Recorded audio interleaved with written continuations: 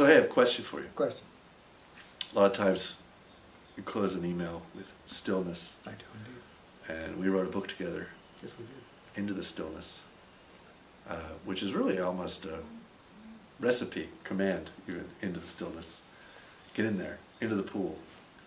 Um, but when you, when you read, uh, you know, in Buddhist or Vedanta uh, or Sufi literature, you tend to read about the self, capital S. Hmm.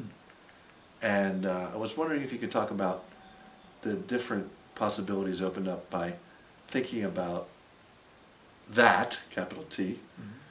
as being the self, capital S, versus that being the stillness.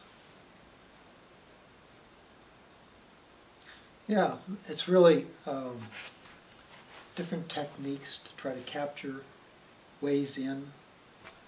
And I think if you can visualize a big capital S self, in which you are much inferior to that, very small compared to that, then you can see, this is kind of a bhakti approach now, that in fact what you would, could do was you would say, well, I can either be down here and self is up there, or I can merge into self, into big self. And one of the great bhakti techniques for non-duality is to do exactly that. I mean, to allow self to so fill you, big self, to f- so fill you that it displaces little self. It's- Mother Teresa says we have to become empty Yes, so that God can fill us. exactly. And Yeah. so it becomes that sense of, of actually going through that exercise, which I found very useful, was just to get an iconic figure or else, because you can't just, I just couldn't imagine big as self. So I had to have an iconic figure, of Maharshi, uh, that you could somehow become as one. There was no difference between you, there was no energy here that wasn't contained within that particular iconic image.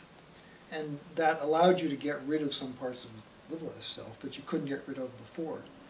But that's a way into stillness, which is only a way to try to capture what's uncapturable. I mean, what this thing feels like. And I, I think we've all tried different words to try to say what's it, what's it like. It's not like big S self to me doesn't give me something I can feel as. When I say stillness, that says something to some part of the entity. It says, okay, that's so different from what most people's life is. When you say be still, it's like, oh, I'm not still. Life is really, oh, oh, oh. oh. And so I say, well, okay, be still. Do you realize you can be still? Just be still and know that I'm God. You know this, this, this thing from. Psalms 46:10. Yeah, be still and know that I'm God. And it's that sense of, okay, that is, if you think God as self, big self, then it's be still and know that I am God. And so it's basically heading into the same direction through kind of a command like, be still. Just Yeah. be very, very Well, it gives you still. something to do. Yes, be, be just practice. See yourself, uh, and then see yourself. Imagine yourself being still, and just see if you can move towards stillness, and see how you aren't still, and then recognize that that may be a maybe the vehicle into finding your way into God.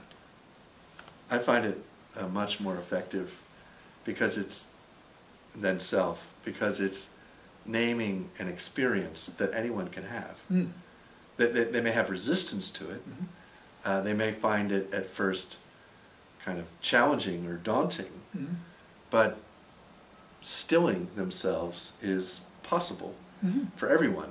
And the more you still yourself, the more you feel the stillness, Mhm. the less stillness feels like the absence of something else happening. And you start to experience the stillness as its own generative positive force, Exactly. right?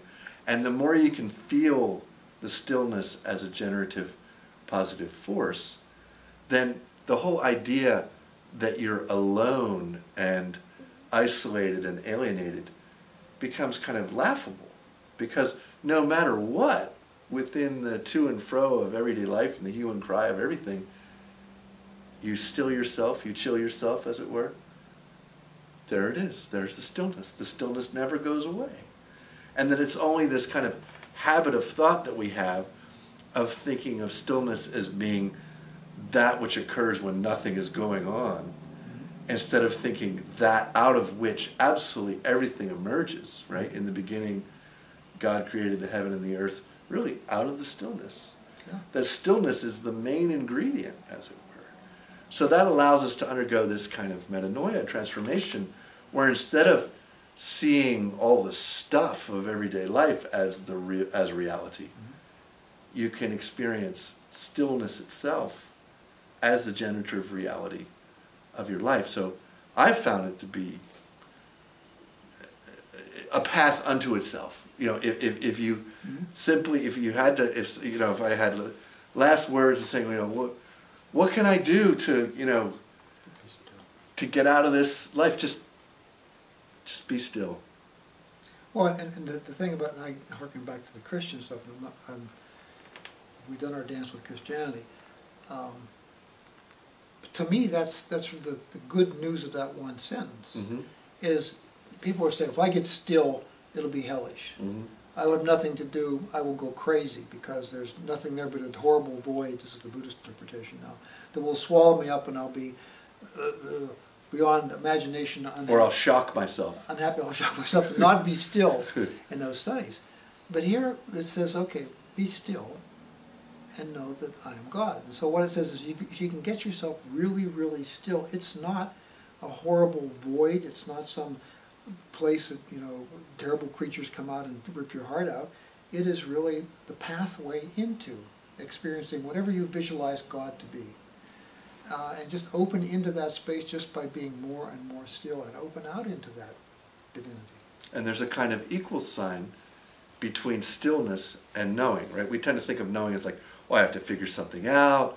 I have to, you know, work out an argument or parse an equation, or you know, I have to do some sort of cognitive activity in order to arrive at a, something like knowledge. Mhm. Whereas it's saying, no, Yeah. if you will be still, you will know Mm-hmm. God. Yeah. And that's very counterintuitive, but that's where we, we just would have to just ask somebody to just try it. Well, and, and the knowing is such an important word too. Yeah. Because it be still and know. It Yeah. isn't like understand, write about, Feel. discourse about, feel. It's know. yeah, exactly. You will know. There's Some- certainty there. There's some great Bhagavad Gita verses about, about you know, if you can get your devotional level down, surrender, deeply surrender into whatever the infinite is for you, then you can see, understand, know, and also even enter into God. hmm Vakchatavanyaya shishavahamnevam vidochana natum drashtum chatatena pravishtum chapan. You can actually not see and know, but you can actually enter into. And indeed, one knows precisely because in being still, there's no barrier between oneself That's right. and God. That's right. There's the nothing knowing holding on. occurs because there's no barrier. There's no barrier. So by being still, you know, being still Yeah, is the pathway to gnosis, you know, what they That's call in right. the Greek tradition, Yeah. gnosis, or the Jnana Yoga. yeah, right. Um, and it sounds simple, but it ain't easy. No, but it couldn't be. That's it. But look Yeah. at it as a vehicle. Yeah, You know, maybe one of the best vehicles. In. yeah.